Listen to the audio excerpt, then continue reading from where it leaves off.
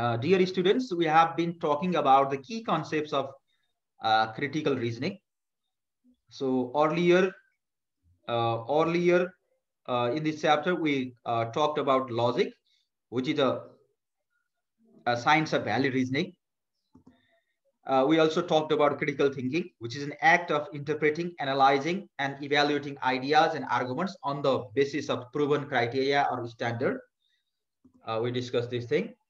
Uh, then we also talked about reasoning. Reasoning is an act or process of drawing conclusions from facts or evidences. Uh, it is a move from uh, reasons to the conclusion.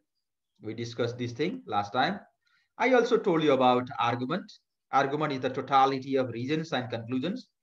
It is a set of uh, statements, set of uh, uh, propositions in which certain conclusion is drawn on the basis of the given regions or premises. I also told you about proposition. Uh, proposition simply means the content, meaning, message found in a, a declarative sentence. Okay, a proposition is used either as it can be used as reasons or conclusion. A proposition can be either true or false. Truth and falsity are the attributes of a proposition and they are the building blocks of, a, of an argument. I told you about this also. Then uh, reasons. Reasons are those propositions on the basis of which we draw the conclusion. Okay. And what are conclusions or what is a conclusion? Conclusion is the proposition drawn from the reasons. Conclusion is the proposition supported by the reason. In an argument, there may be one or more than one reasons as well as conclusion. I also told you about validity. It is the quality of reasoning being reasonable. If your reasoning process is reasonable, it is called validity. If your argument is acceptable, it is validity. If your argument is logical, it is validity.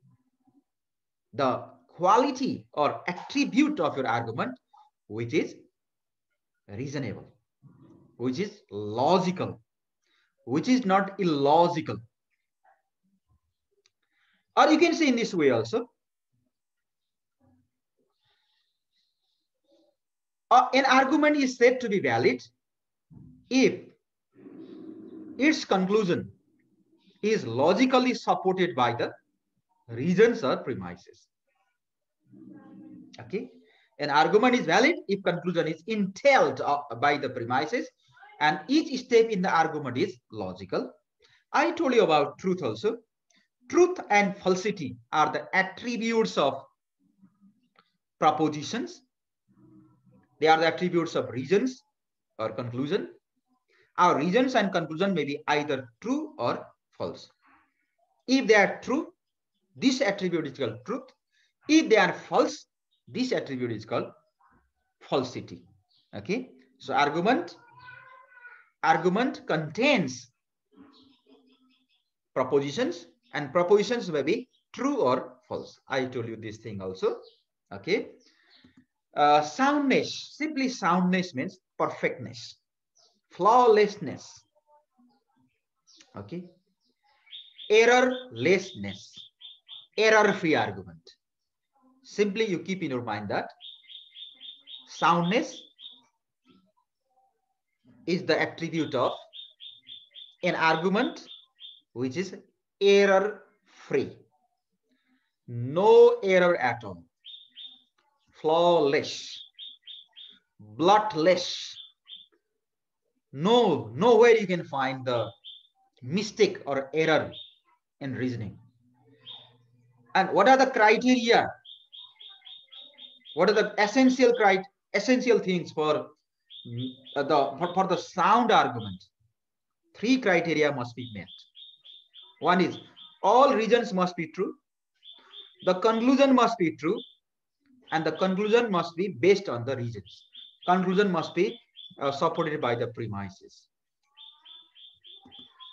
Fallacies. Fallacy, something related to false, falsity in critical thinking, uh, critical reasoning, fallacy simply means flaw,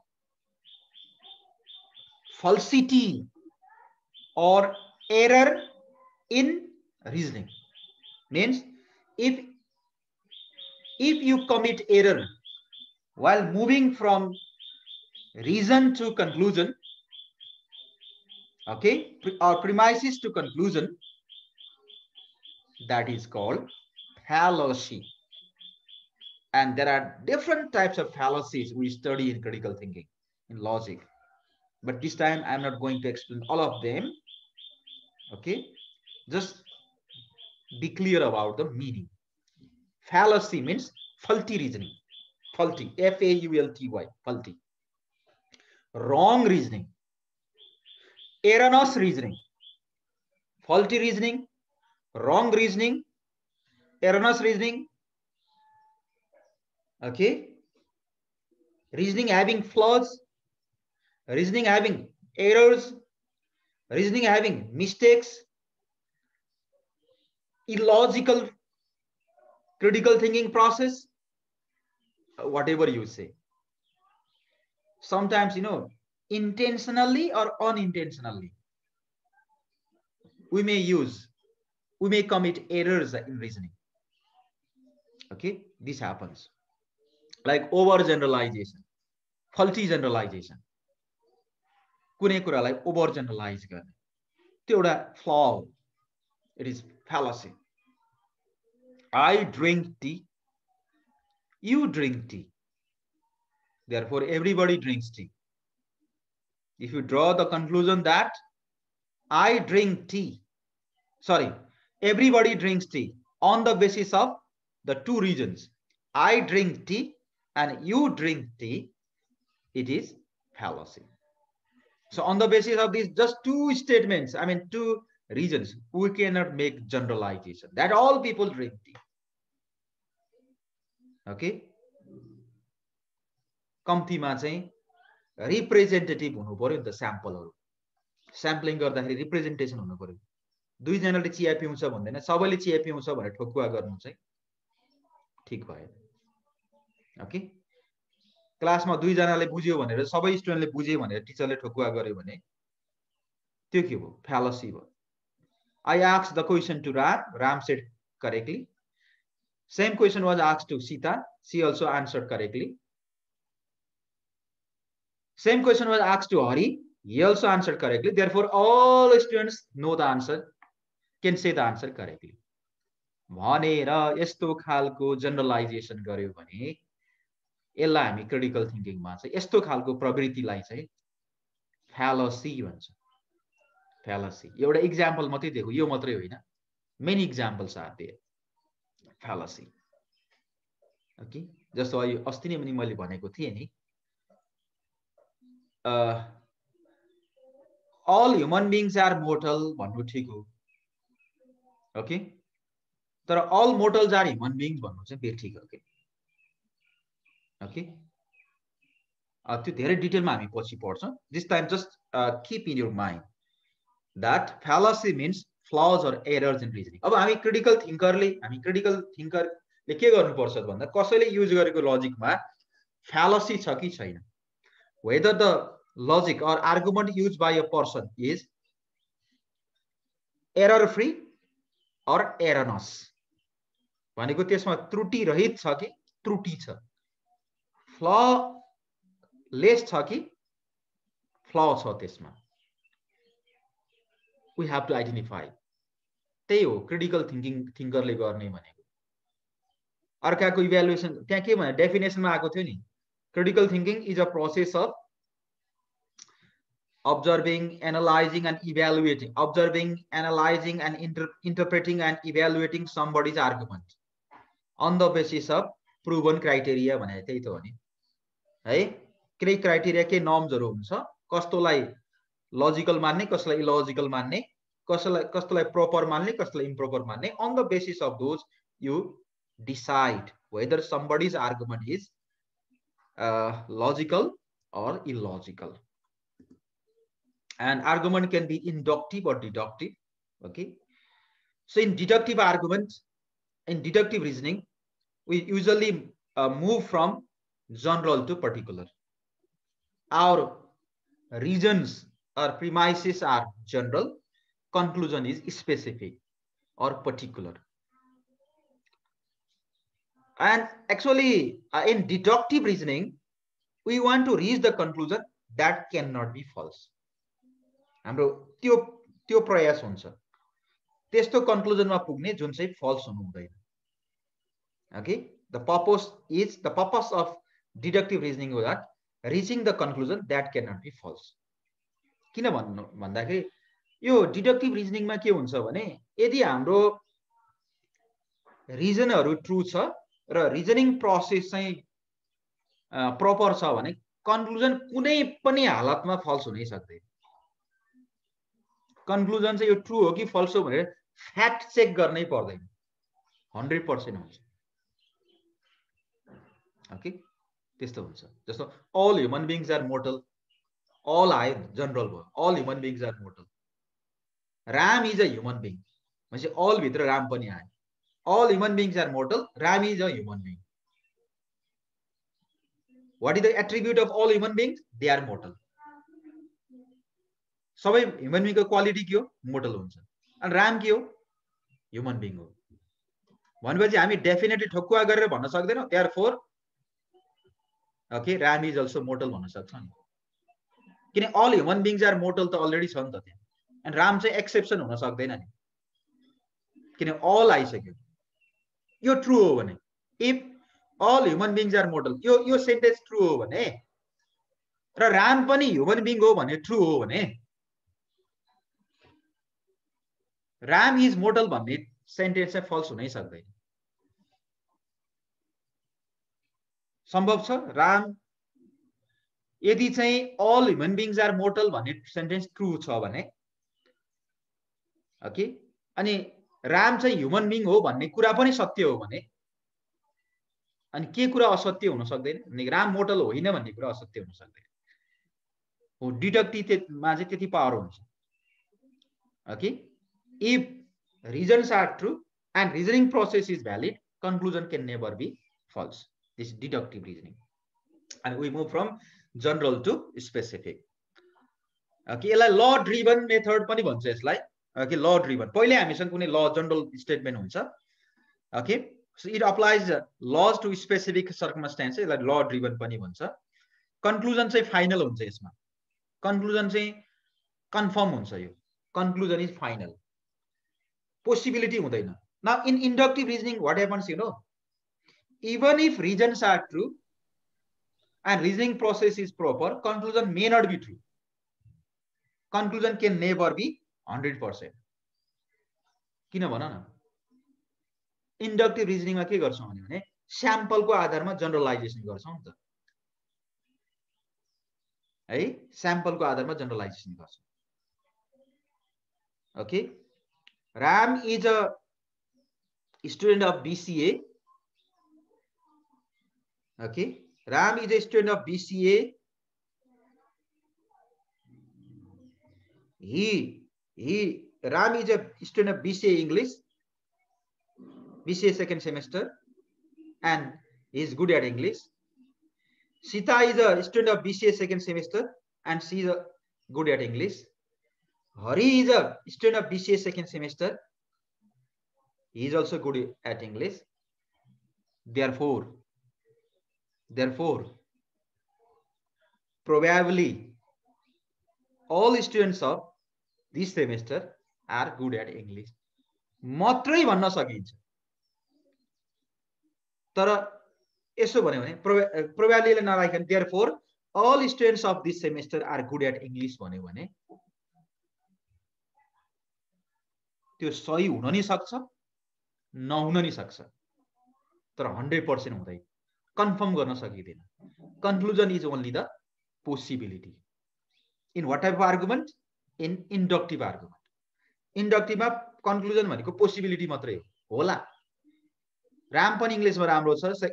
second सेमेस्टरको Ram Hari राम्रो छ गीता राम्रो छ सीता राम्रो छ गोपाल राम्रो छ यहाँ हाम्रो भुवन राम्रो छ अरू स्टुडेन्टहरू आकाङ्क्षा राम्रो छ अरू मिना को को भन्ने छन् ओके तिनीहरू राम्रो छ ज्योति राम्रो छ ल।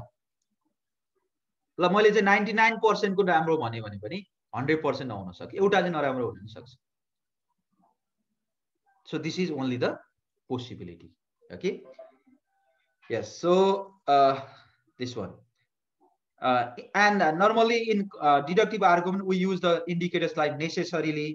absolutely definitely last ma चाहिँ therefore भन्ने ठाउँमा चाहिँ के नेसेसरीली सर्टेनली भनेर राख्न सक्छौँ because we are sure about the conclusion in inductive we just do opposite opposite process, reverse process. We move from specific to general. The purpose is to reach a conclusion for testing and application. It uh, discover new laws. यसले चाहिँ ल driven होइन कि नयाँ ल discover गर्छ नयाँ fact चाहिँ यसले डिस्कभर गर्न सक्छ कन्क्लुजन भनेको एउटा सम्भावना मात्रै हुन्छ। It is only the hypothesis or possibility त्यो भएर हामी कन्क्लुजन इन्डिकेटर के के युज गर्छौँ भने प्रोभाबली इम्प्रोभाबली लाइकली अनलाइकली भन्ने युज गर्छौँ। Okay keep this thing in your mind okay assumption भन्ने हुन्छ। एसम्सन भनेको सपोजिसन गर्ने। Okay in every argument the arguer may suppose okay something suppose that something is true okay that is call assumption reasoning okay argument indicators ए हे अलिकति बाँकी हो कति राम्रो टपिक बाँकी थियो अलिक भइएन त okay students I think you have another class so almost I have told you uh, the about the uh, basic concepts of critical thinking. Now, remaining things are this one assumption. I'll explain uh, in clear way in the next class. The reasoning, okay, argument indicators. It is given in chapter one also. okay, we'll discuss there also, and I'll make you clear here in this discussion also. Then, what is the relationship between validity and truth? I have already told you that validity and truth are different things. मैले पहिल्यै भनिसकेको छु validity र truth भनेको फरक concept हो an argument can be valid or invalid okay where the propositions can be true or false प्रपोजिसनहरू true अथवा falls हुनसक्छ आर्गुमेन्ट चाहिँ भ्यालिड र इनभ्यालिड हुनसक्छ। कहिले कहिले चाहिँ आर्गुमेन्टहरू चाहिँ के भन्छ प्रपोजिसन फल्स भयो भने आर्गुमेन्ट चाहिँ भ्यालिड बन्न सक्छ। हेर आर डिफ्रेन्ट इक्जाम्पल्स यो इक्जाम्पलले क्लियर गर्छ। Some valid arguments contain only true proposition सबै ट्रु भएको आर्गुमेन्ट पनि हुनसक्छ। फल्स भएको मात्रै पनि आर्गुमेन्ट फल्स भयो भने आर्गुमेन्ट चाहिँ भ्यालिड हुनसक्छ। Even if the propositions are false the argument can be valid किनकि भ्यालिडिटी भने मैले के भनेको छु भने okay the quality of an argument okay in ways the conclusion is logically supported by the reason जस्तो यहाँ हेर न सेकेन्ड इक्जाम्पल हेर त all four legged creatures have wings false हो नि। All four legged creatures have wings भने false हो। चार खुट्टे जनावरको पखेटा हुन्छ भने त फल्स हो नि त। All spiders have four legs सबै माकुराहरूको चारवटा खुट्टे। यो पनि फल्स हो। All four legged creatures have wings all spiders have four legs therefore all spiders have wings ले हेर त all four legged creatures have wings गलत हो। All spiders have wings wrong यो पनि होइन। के अरे? अल स्पाइडर्स हेभ लेग्स अब यहाँ लजिकले के भन्छ भने लजिकल्ली त यो भन्न सकिन्छ नि त। लजिकल्ली यो भन्न सकिएन। Therefore all spiders have wings भन्न त सकियो नि त लजिकल्ली त। कुन आधारमा भन्दा if all four legged creatures have wings if this is true यदि सबै चार खुट्टे जनावरको पङ् के अरे पखेटा हुन्छ भन्ने कुरा सही हो र अल स्पाइडर्स हेभ लेग्स सबै स्पाइडरको चारवटा खुट्टा हुन्छ भन्ने कुरा सही हो भने होइन? सबै चारखुट्टे जनावरको पखेटा हुन्छ। अनि स्पाइडर पनि चारखुट्टे जनावर हो भन्ने कुरा। सही हो भने त स्पाइडरको पनि पखेटा हुन्छ भन्ने कुरा त सही हो नि। यसो भन्नु त लजिकल हो। भ्यालिड त हो तर ट्रु चाहिँ होइन। यो सेन्टेन्सहरू ट्रु चाहिँ होइन। यो आर्गुमेन्ट भ्यालिड भए पनि यसका प्रपोजिसनहरू चाहिँ फल्स छ। It's interesting it's so interesting तिमीले गहिराइमा जान खोज्छौ भने एकदम इन्ट्रेस्टिङ छ यो other things are also given today because of time limitation I could not do this different criteria, different conditions of validity and truth are given. Okay. Sir, inactive sentence सुनिस् तेरी.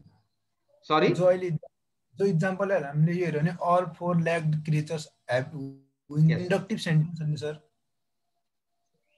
स्पेसिफिक टु जन्नलाई हो यही हो तेरो त्यही त deductive हो नि होइन डिडक्टिभ हो मैले अहिले डिडक्टिभ आर्गुमेन्टको के भनेको थिएँ भने डिडक्टिभ आर्गुमेन्टमा कन्क्लुजन चाहिँ फाइनल हुन्छ भनेको थिएँ होइन यस सर तर कुन बेलामा चाहिँ बट बट भन्ने छ नि त त्यहाँ बट बट बट भनेको मैले के भनेको थिएँ तिमीले ध्यान दियो कि ध्यान यही हो क्लासमा टिचरले पढाउँदाखेरि सानो सानो कुरामा ध्यान दिनुपर्छ भन्ने कुरा। मैले के थिएँ त्यति बेला भने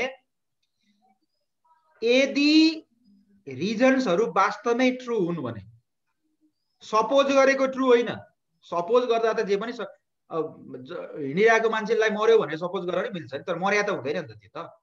वास्तवमै क्या युनिभर्सल्ली नै त्यो सेन्टेन्स चाहिँ ट्रु हो भने। कुरो बुझ्यो? वास्तवमै ट्रु हुनु पर्यो क्या? हाइपोथेटिकल होइन। कल्पना गरेको होइन कि वास्तवमै त्यो रिजनहरू ट्रु हुनु पर्यो यदि चाहिँ रिजन्सहरू वास्तवमै ट्रु छन् सपोज गरेको ट्रु होइन वास्तवमै ट्रु छन्। Suppose you're student of science भनेको त्यस्तो ट्रु होइन कि साइन्सकै अथवा बिसिएकै स्टुडेन्ट हुनै पर्यो। त्यो ट्रु हो र भनेर हामीले रिजनिङ गर्ने प्रोसेस चाहिँ अप्रोप्रिएट छ भने कन्क्लुजन के हुन्छ? पनि ट्रु नै हुन्छ। हो त्यो भनेको। अब यसमा पनि यसमा पनि यदि यो दुईटा सेन्टेन्स चाहिँ ट्रु हो भने वास्तवमै ट्रु भने के? अल फोलेड क्रिएचर्स भन्ने कुरा वास्तवमै हेर्दाखेरि ट्रु नै हो भने। अनि अल स्पाइडर्स आर फोलेज भन्ने कुरा पनि ट्रु नै हो भने। माकुराहरू चारखुट्टे जनावर हुन् भन्ने कुरा सत्य हो भने र सबै चारखुट्टे जनावरको पखेटा हुन्छ भन्ने सत्य हो भने। सबै चारखुट्टे जनावरको पखेटा हुन्छ माकुराहरू चारखुट्टे जनावर हुँ भन्ने भने चाहिँ हामी हामीले एउटा कन्क्लुजन निकाल्छौँ। त्यो भएर माकुराको पनि के अरे पखेटा हुन्छ भन्ने कुरा त गलत हुँदैन नि त। गलत भन्न मिल्छ र गलत हुन्छ कि हुँदैन होला? यो माथिको दुईवटा कुरा चाहिँ वास्तवमा सही हो भने यो फल्स हुन सक्छ र? लोजिकले त फल्स भन्दैन। हो लजिक लजिकले चाहिँ त्यसलाई फल्स भन्दैन। यो हो यसलाई चाहिँ भ्यालिडिटी भन्छ। यस्तो यस्तो अवस्थालाई भ्यालिडिटी भन्छ। अब यसमा के हो भने सेन्टेन्सहरू फल्स हुँदा हुँदै पनि। अल सेन्टेन्सेस आर फल्स यो त सही होइन नि। कुनै पनि सेन्टेन्स सही हो र यो। इज एनी सेन्टेन्स ट्रु यो तिनवटा सेन्टेन्स हेरेर त कुनै पनि सत्य छ छैन नि। तर लजिक चाहिँ के हो त? यसको ऊ चाहिँ यो यो आर्गुमेन्टको चाहिँ भ्यालिडिटी चाहिँ के हो त? भ्यालिड हो कि इनभ्यालिड हो? यो भ्यालिड छ। यो भ्यालिड हो। हो त्यो मैले के बुझाउन खोजेको भने भ्यालिडिटी र ट्रुथ भन्ने चाहिँ फरक कुरा हो अरे के कुनै आर्गुमेन्ट भ्यालिड हुँदा हुँदै पनि यो फल्स हुन सक्छ So there are different conditions. Today we don't have much time. So there are other situations also. Okay, you can go through uh, this uh, text. I have uploaded this file there in Google Classroom also. From there you can download and see these examples. Okay, during vacation, uh, you can see all these in detail And last time I told you about fallacy. मैले फ्यालसीको बारेमा नि भनेको थिएँ नि। Fallacy भनेको errors in reasoning faulty reasoning अब धेरै time भएन अहिले। मैले एक एउटा दुइटा इक्जाम्पल मात्रै हेर त। Fallacy cutting people is a crime हो नि होइन? मान्छे काट्नु त अपराध हो नि। कानुनले त अपराध भन्छ। Cutting people is a crime surgeons cut people होइन र? अपरेसन गर्ने डक्टरले मान्छेको शरीरका अङ्गहरू काट्छ नि। त्यसो भने के? Can we say that surgeons are criminals therefore surgeons are criminals or they are criminals भन्नु के हो? What is this this is fallacy faulty reasoning भन्छ यसलाई। गलत खालको रिजनिङ अब यो cutting people is a crime हो ठिकै हो तर सर्जनले मान्छेको शरीर काट्नु भने त त्यो अपरेसनको लागि उपचारको लागि अन्नेसेसरी पार्ट काट्नु भने हो नि त। तर त्यो कुरालाई यहाँ ल्याएर जोड दियो कि? कहिले कहिले हामीले त्यो गर्छौँ। त्यस्तो खालको नमिल्ने खालका तर्कहरू एउटा प्रसङ्गमा भनेका कुराहरू अर्को प्रसङ्गमा लगेर चाहिँ जोड त्यसरी जोडियो भने हाम्रो लजिक हाम्रो रिजनिङ चाहिँ इट बिकम्स वाट फ्यालोसियस कि or erroneous are you clear students are you clear हामीले एक ठाउँमा मात्रै एउटा सन्दर्भमा भनेको कुराहरू अर्को सन्दर्भमा नमिल्न सक्छ। अब सर्जनले सरी काट्नु भनेको चाहिँ त्यो त उपचारको लागि काट्ने भन्ने सन्दर्भ भनेको अनि सर्जनलाई क्रिमिनल भनिदिने। यो सर्जनहरू सबै क्रिमिनल हुन् अपराधी हुन् भन्दै हिँड्ने। किन भनेको अपराधी ए कान्छा भनेर चाहिँ भन्दाखेरि किन कानुनले चाहिँ मान्छेको शरीर काट्नुलाई चाहिँ अपराध भन्छ। सर्जनहरूले के गर्छन्? शरीरका भागहरू काट्छन्। हो त्यस कारणले उनीहरू चाहिँ क्रिमिनल हुन् भन्यो भने हास्यास्पद भन्छ। किनकि सर्जनले काट्ने भनेको चाहिँ के हो? उपचारको लागि काट्ने। Okay this is this type of argument this type of logic is fallacy fallacy see other examples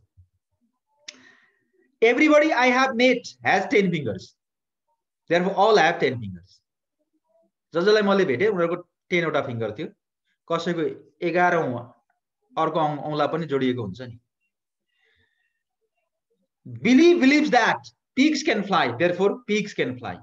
My teacher says that pigs can fly therefore pigs, pigs can fly. मेरो सरले भन्नुभएको सानो सानो बच्चाहरूले चाहिँ सरले भनेको विश्वास गर्छ नि। हामीले भने पत्याउँदैन ओके? होइन हाम्रो सरले यो भन्नुभएको छ भन्छ। हामी पनि अब सरले भने भनौँला। मैले भनेको कुरा कतिपय मैले पढाउँदा रङ पनि हुनसक्छ। पहिलो च्याप्टरदेखि लास्ट च्याप्टरसम्म कति ठाउँ मैले गल्ती पढाएको नि हुनसक्छ। गल्ती पढाएको नि हुनसक्छ। पक्कै कतै कतै मैले पढाउँदाखेरि ग्रामरमा अरू कुरामा गल्ती होला।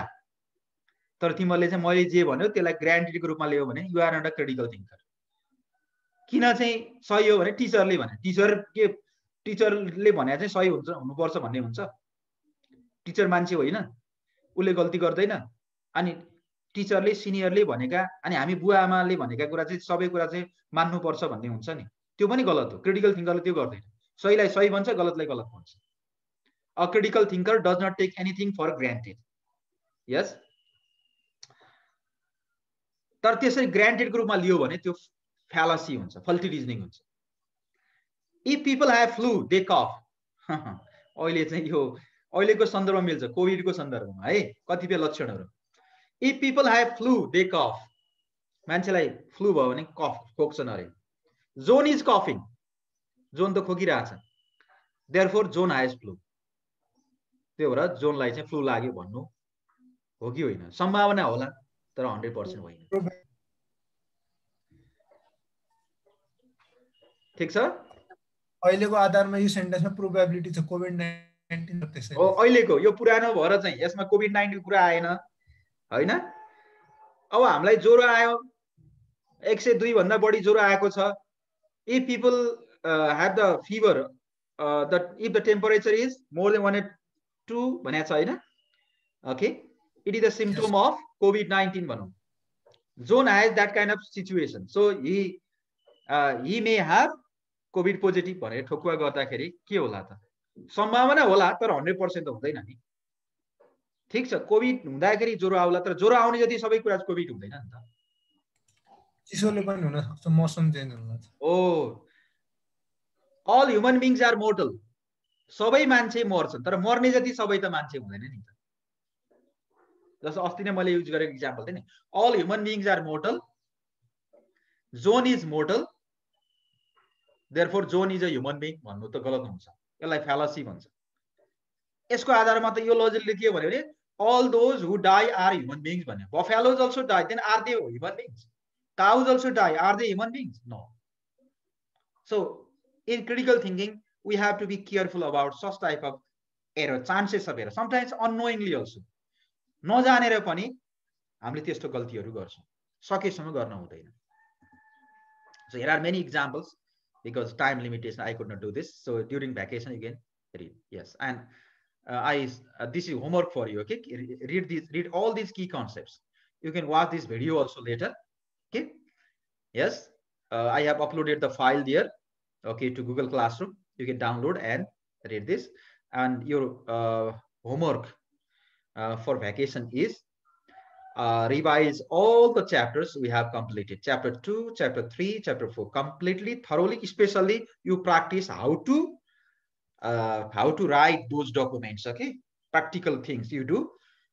And uh, uh, from this chapter you revise all these key concepts okay? From logic to this last topic uh, fallacies. Okay. So I hope you will do this. That's all for today. Thank you very much. Thank you, everyone.